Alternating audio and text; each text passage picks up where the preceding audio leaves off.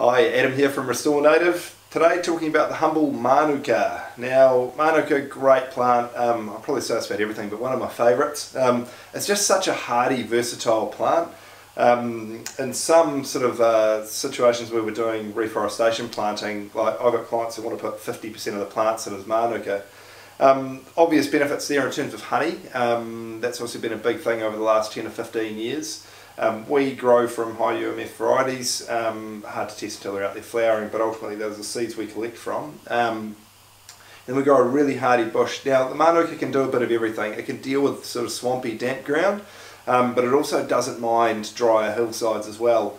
It flourishes in those first few years, so it really gets up and above above the grass and weeds. So if you're not going to give your project a lot of care once those trees are in the ground, Manuka is just going to keep doing its business and keep going.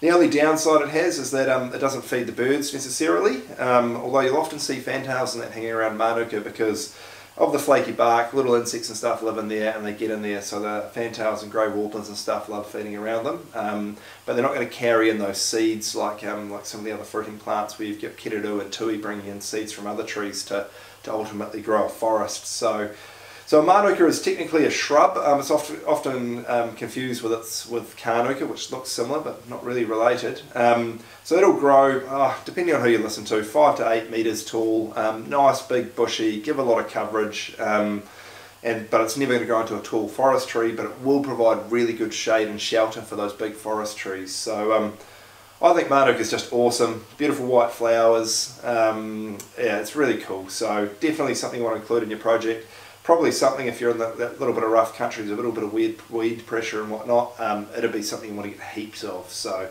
yeah, really good option.